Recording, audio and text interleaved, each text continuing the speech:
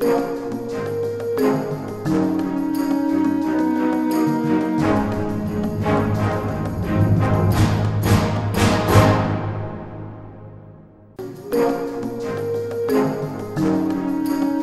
位观众，大家好，欢迎收看四六二七 ETV，我是主播吴博轩，首先带您来关心本周的新闻要点。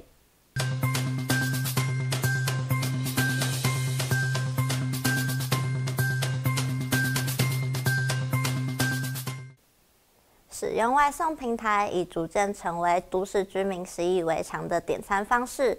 因服务版图尚未扩散至全台，嘉义民雄地区直到五月六日才得以进驻。此前，民雄地区的外送服务受距离数量上的限制。平台进驻后，民众不用大量订餐，也能享有送餐到家的便利。网络外送平台在五月六号首次进军嘉义县内乡乡，为民众带来餐饮外送更加便利的可能。民众只要动动手指头啊，使用手机啊，程式，在各种的店家当中挑选的单，都有外送完上餐来到厝内。我觉得这个想法还蛮好的，因为就是中正附近其实蛮大，然后如果要呃去吃饭的话，那其实要花蛮多时间。然后如果有这个平台可以送到家门口，那其实是会对生活带来蛮大的方便。其实他送餐还蛮快，因为他送餐时间都会跟你讲说大概几分钟、几分钟，所以你也可以在这段时间先去忙其他事情。然后他送餐也还蛮准时的，然后外送员的态度也还不错。我觉得如果品相能再多一点的话，会比较有帮助。但是目就目前而言，其实我没有什么动力去用。今年三月，华送平台为着进驻民香地区，要在各类的社群媒体发布招商资讯。到目前为止，店家行平台合作的状况如何？我觉得其实还蛮不错的，因为呃，熊猫它除了在平台上面可以增加曝光率以外，那对于真的想要有呃实物上面的呃效果的人，他们会比较有这样的一个呃更多的便利。我们其实之前有，但是他其实范围并不大，他也没有办法及时的去做很多的呃及时的去做很快速的外送。那因为有距离上跟位置上的成本考量，所以我们也没办法做一两个便当我们就送。那铺片台其实就能够解决这样的问题。外送平台，户面上无需要大量资文，嘛会当享受外送服务的便利。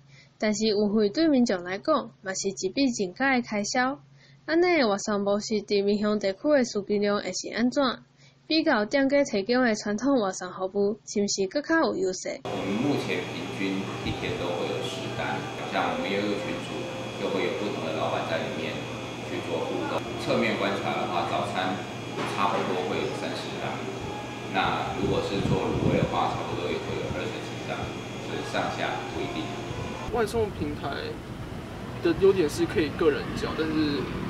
传统店家的是不行的，对。然后如果品相够多的话，我觉得外送平台的服务我会更喜欢。使用手机啊订取乐单的外送平台，虽然已经伫主要城市渐渐成熟，但是对着较偏远的地区来讲，安尼的方式嘛是各地起步的阶段。中晋医保、太平洋、国联、嘉怡、民生报道。疫情逐渐趋缓，连续多天零确诊的情况下，许多业者推出特定优惠，吸引消费者们上门。站在业者的角度，选择在这个时间点推出优惠，是否也在期盼优惠的推行能带来因为疫情而损失的业绩呢？为了庆祝台湾连续多天零确诊，不管是旅游业、餐饮业，甚至是娱乐业。都纷纷推出只有零疫情才有的疫情优惠，吸引消费者上门。我们有推出就是只要当天零确诊，名字的话点谐音就可以了，有时钟啊、英文、嘉玲之类的，都可以退换我们的龙虾拼盘。大家也知道疫情的关系啊，这疫情比较严重，那还是一样就是要鼓励大家，就是对我们国家有信心啊，对啊，然后还是也希望大家可以一起。来面对这个困难啊。所以其实我们没有考虑太多的成本问题，啊，就是想要回馈给社会这样而已。业者推出优惠活动，不仅是为了回馈社会，在业绩上是否能回温，甚至做到提升，也是业者所看重的事情。我们都会定期推出不一样的活动啊，口罩肉片啊，或者是为了预防疫情赠送龙虾拼盘啊。对，就是主要疫情的话，我们是推这两活动。其实基本上现在也差不多有回归到一般的业绩了。其实有关于这个零呃确诊的优惠方案啊，在行销上是非常普遍的。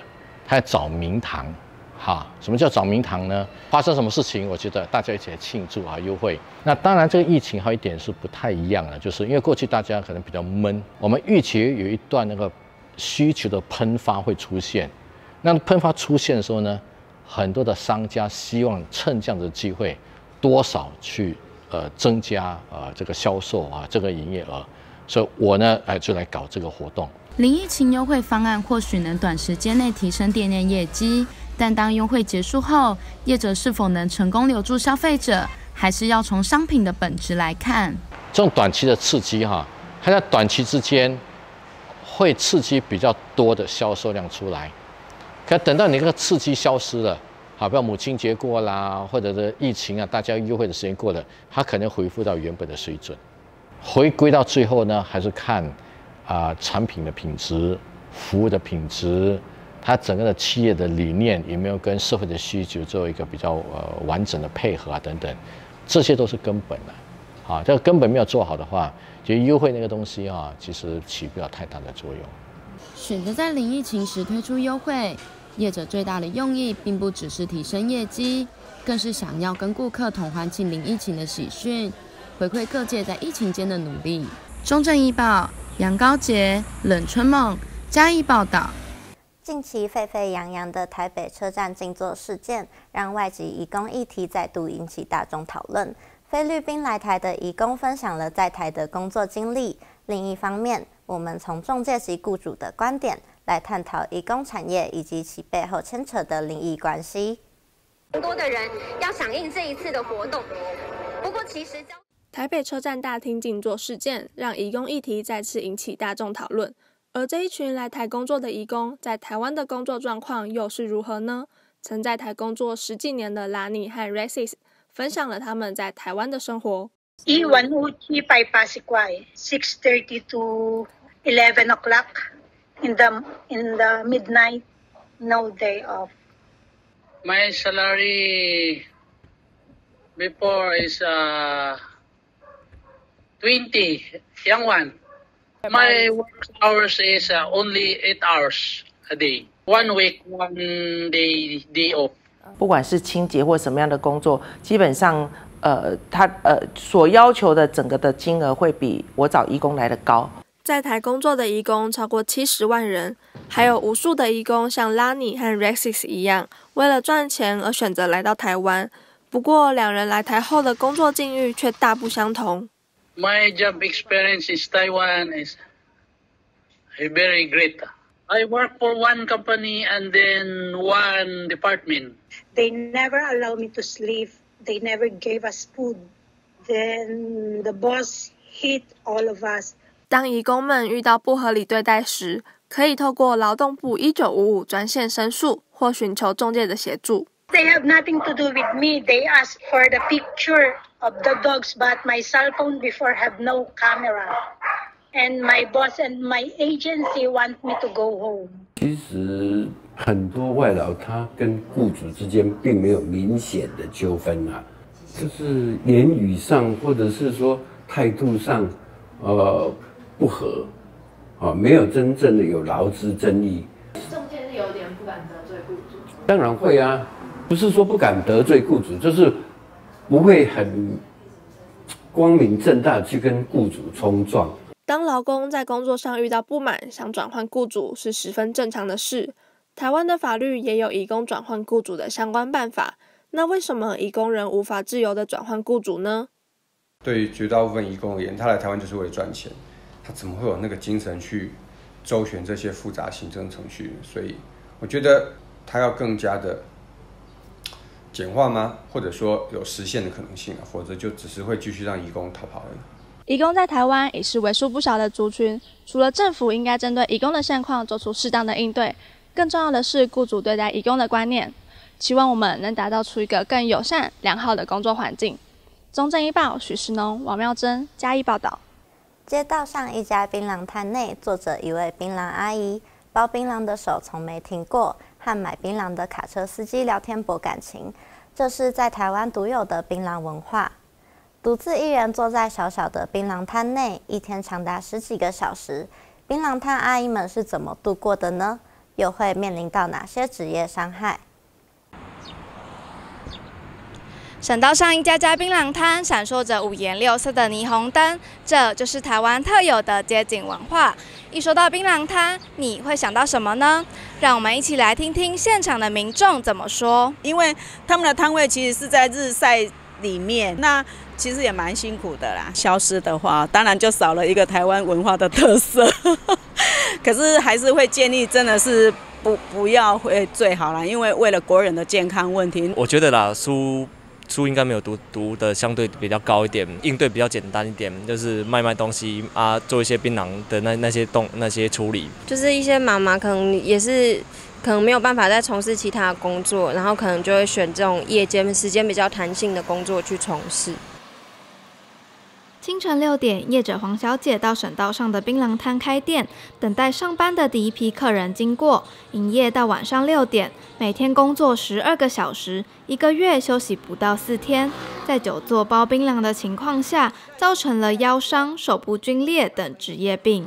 坐久就是这个腰啊，坐骨神经啊，然后脊椎会会弯啊，有时候是不小心会被刀子刮到，是一定会的啊。槟榔碱刮到也是一定会的啊！这个伤害外伤，擦药可以好。职业病代表嘞，做二货。原本从事美发业的黄小姐，在三十岁时踏入槟榔摊，一做就是十八年。身为单亲妈妈，为了抚养两个孩子，过去曾一日工作十六个小时。为了提升业绩，除了顾品之外，也要和客人博感情，以稳定客群。品质第一啦。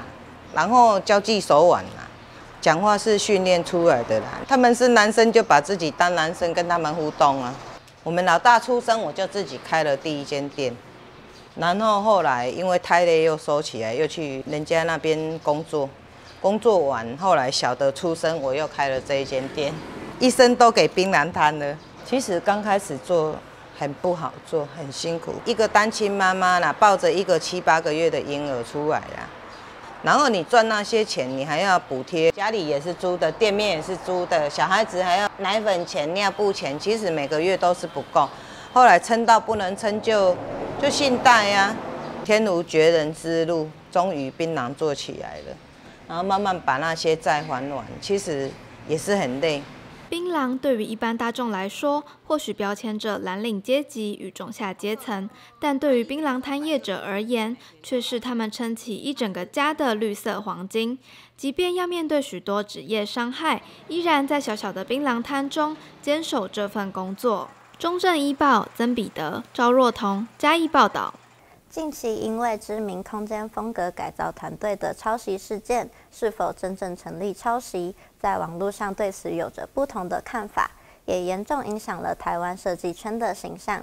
由于美术设计相较于文字作品更为主观，在现行法上难以去界定抄袭与否，可能因此侵害原创者的权利。台湾近期抄袭事件频传，不论是在音乐创作、娱乐、设计领域，都受到大众的讨论。而知名空间风格改造团队的抄袭事件更是引发热议，也重创台湾设计圈的形象。他们用在商业行为的话，我是觉得说有点太过头。再者是他可能消费者不知道这件事情，跟原创者也不知道他被抄袭的这件事情，可能就是不太 OK。现行法律上并无“抄袭”一词，判定侵害著作权需符合实质相似及接触两要件。而美术设计类相较于文字作品，判定上更为主观，经常游走在法律的灰色地带。实质相似呢，是其实是用白话讲，就是说到底两个作品是不是很像。如果是以文字文字的作品去比对的话，它其实比较容易。可是呢，如果是非文字的作品，比如说呃图画、音乐。等等的作品量的部分就没有办法很准准确去判断，所以呢，就会透过值的部分去观察。那接触呢，就是说到底这个被控抄袭的那个人，他到底有没有机会去接触、感知到那个原告的作品？网络上有人认为知名空间风格改造团队严重抄袭了他人的作品，也有人表示创作过程本就不可避免模仿前人，应属于合理使用范围。抄袭与否常常在一线之隔，而此事件是否真正有涉及到抄袭呢？其实他他就是抄啊，这个案子里面哈，呃，他有抄袭的嘛？那到底有没有合理使用呢？其实很明显的，你会发现，首先利用的性质是盈利的，对不对？然后呢，再来呢，它的这个利用的质量跟比例是完整的。第三个是它对于市场上确实有可能造成替代的效果，对，所以我个人会觉得，呃，在这个案子里面合理使用的可能性非常的低。作品的诞生是创作者的心血结晶，这次除了警示了设计圈之外，更是提醒民众应尊重原创，使创作者能有更好的工作环境。中正一报郭玉轩、郑新莲加一报道。现代舞蹈表现形式多元。经由身体表演出创造者想传达的理念，透过南华大学民族音乐系教授林文忠参与舞团与教职的经验，希望民众能理解现代舞的本质是很贴近生活的舞蹈，期望民众能拉近与现代舞的距离。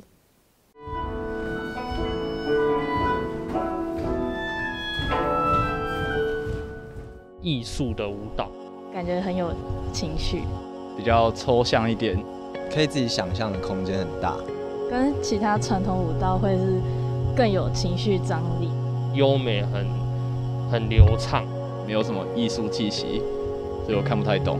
创作者不会去把它填得很满，就是交给观众完成剩下的创作的感觉，这样。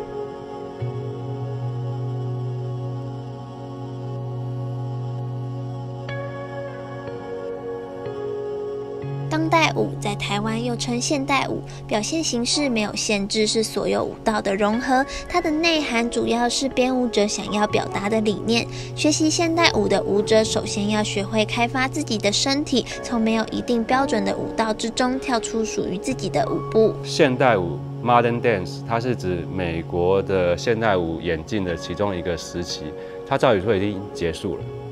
OK，是比较偏向于什么玛莎格兰姆啊、荷西里蒙啊这些 pioneers 创创创造出来的舞蹈，它有固定的形式跟动作，然后后来进入了后现代舞，然后进入当代舞。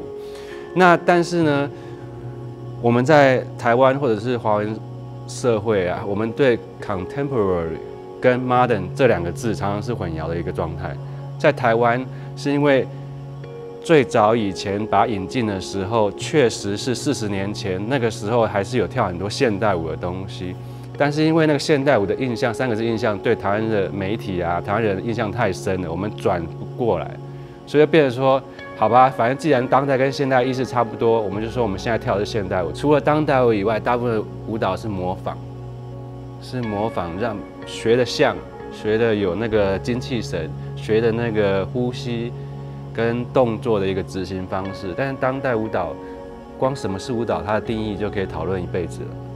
对，所以，所以当代舞蹈告诉我，就是说这个世界有多开阔，你的思想有多开阔，你的舞蹈，你的身体就有多少可能。对，但是以前以前我在舞团呢，我们的排练组总监，排练总监总是跟我说，It's all in your mind。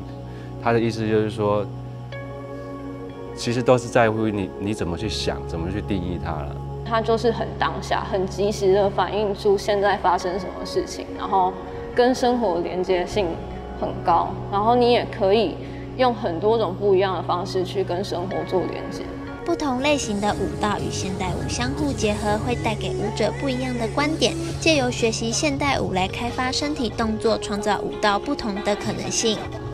街舞是一个比较观众性的舞蹈，街舞会很强调我的跳舞是为了给观众看，对我来讲就有点像是为了观众服务，所以很多街舞人会在乎掌声，在乎欢呼声，在乎这些，就是他们如果到一个境界，他觉得他自己做的很帅，可是没有人理他的时候，他会慌，就是台下的人，哎，怎么没有反应？怎么会这样？对，所以我觉得对我来说最大的改变就是。做完现代舞的，就是做完现代舞的练习之后，我会觉得我比较不会那么的观众取向。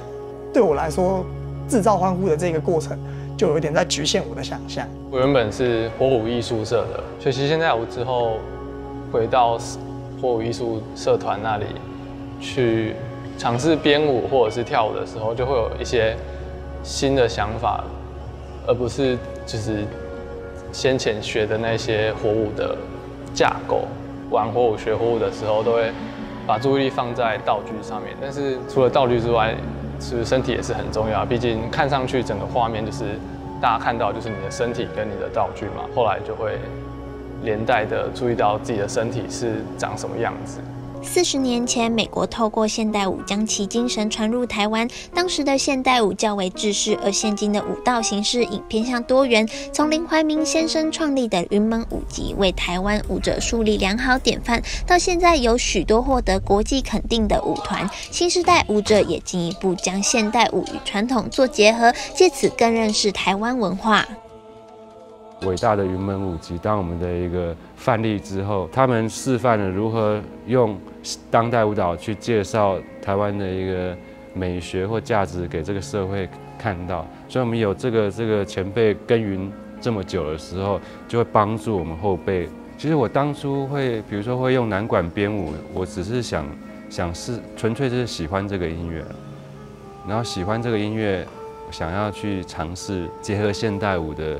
动作跟难管，虽然传统已经越来越少了，但是偶尔遇到他的时候，哎，是不是该交个朋友啊？你会因会这样想？我并我并不会说哦，用传统编舞就可以说我有比较多的观众，或者是可以带出国，比较有那种台湾 identity。其实我并没有想那么多，纯粹是因为这件事可爱，或者这件事哦，怎么那么古板呢？古板到都值得为他编一个作品了。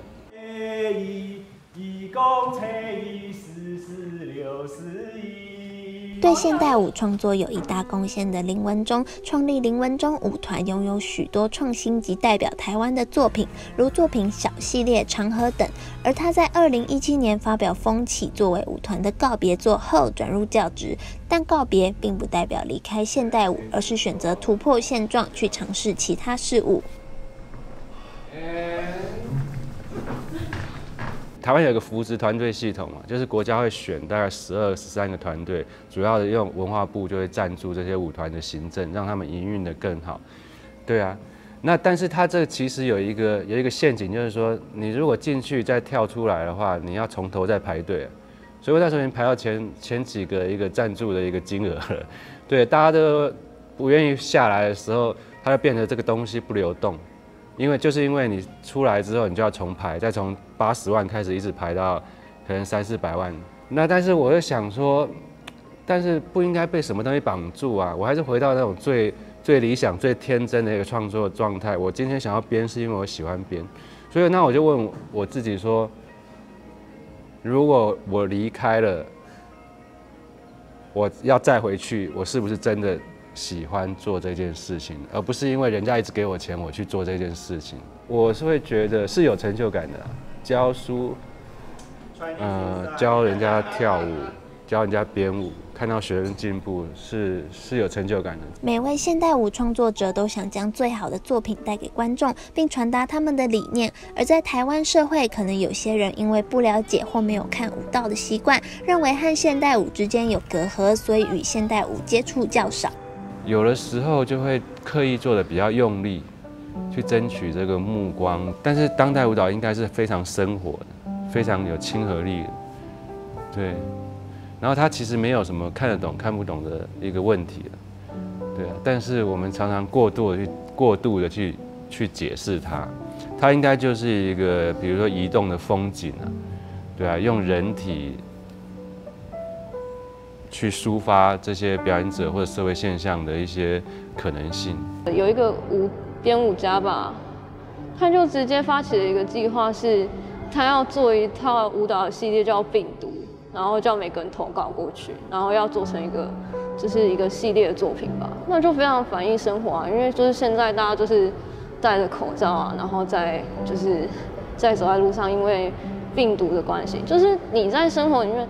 很难有人有这个幽默感去做这件事情吧？但是当代艺术家就是会做这件事情啊，对啊，我觉得那就是一个很贴近生活的例子。不管怎么样，台湾还是有一些多元的一些舞蹈团体在进行，哦，不管是城市或乡下都有现代舞这个东西在发生。但是我觉得最主要的是因为没有没有什么看的民众，就没有什么一个对话的对象。知道吗？所以是有点无聊，一天到晚在自己做，然后自己的朋友看。现代舞表演所要呈现的是与生活的连接，并透过舞蹈擦出与观众之间的火花。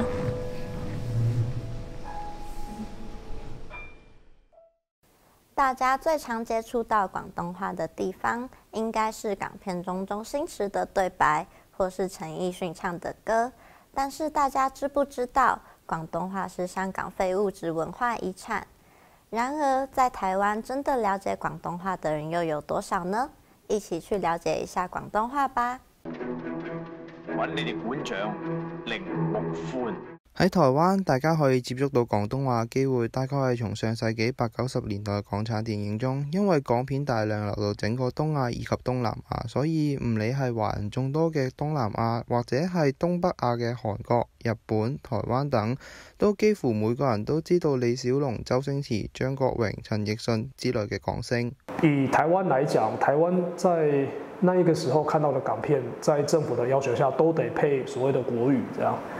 国语，所以我们看到是有字幕的，然后演员都讲国语这样。好，那可是呃，随着电影的发展，比如说像 TVB 他们拍的那个电视剧，然后很多时候他来不及配到国语，因为他的量太大，然后他就让我们看到广东话版本，然后我们看字幕。然后台湾确实有一代人，就是其实是我这一代，我大概四十岁嘛。好，我这一代人他们看很多 TVB 的电视剧，然后他们从那个电视剧里面学会广东话，就可以听讲不见得讲，他可以听得懂这样。基本上香港就是得天独厚，在那个历史的机遇下面，它发展起来。好，然后他拍了片，对，就就成为我们上一个世纪的所有华人的共同记忆。这样，对我们都看，不是只有华人在那边拍哦。就是我知道了，像连韩国跟日本，在八零跟九零年代的时候，他们甚至很多他们的人都跑到香港来，比如说来这边拍电影，或者来学电影这样。一到九零年代都还有，所以你会在香港最全盛时期的那个电影里面看到有日本演员。然后那个日本就他就是演日本人啊，然后他后来甚至会讲一点广东话，可他的 base 是在香港的，他不是在日本来的，他就是基本上在香港发展他的 career。对，然后你就知道香港在你知道就所谓的东方好莱坞，嗯，在上个世纪的那种特殊地位，就我们会从那样的港片里面看到香港，然后基本上比如说像成龙做代表，就成龙电影好看，然后也好玩这样，可他讲的都是香港的故事。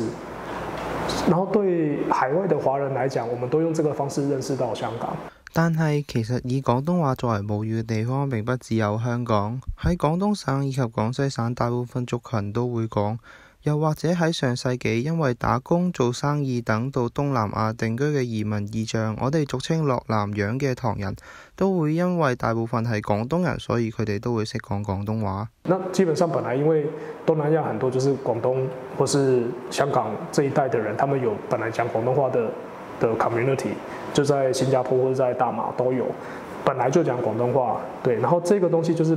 连着他们对香港电影里面得到的某些文化的寄托啊，或是，哎，我我不去，可是我可以看到香港电影一些有趣的东西，看到我的家乡，或看到我认识的人、熟悉的文化，然后所以用这个方式，他们也保证或是确保了他们的那个你说的广东话的语言，或是广东的文化，或是香港文化、香港语言，好，然后就会在这个地方扩散这样。爸爸系九七年之前喺大陆落嚟嘅，讲，但系佢本身都系讲广东话嘅。